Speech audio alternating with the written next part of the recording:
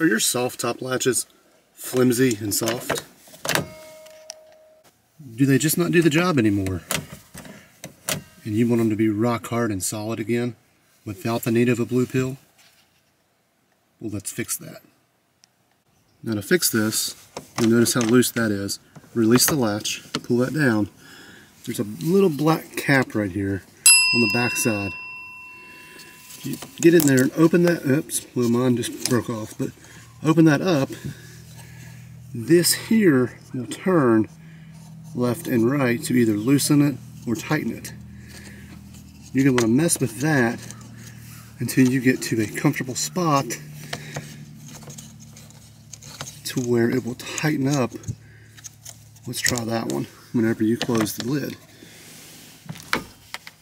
And look at that. You're secured, you're no longer loose, you're nice and stiff, just the way you want it.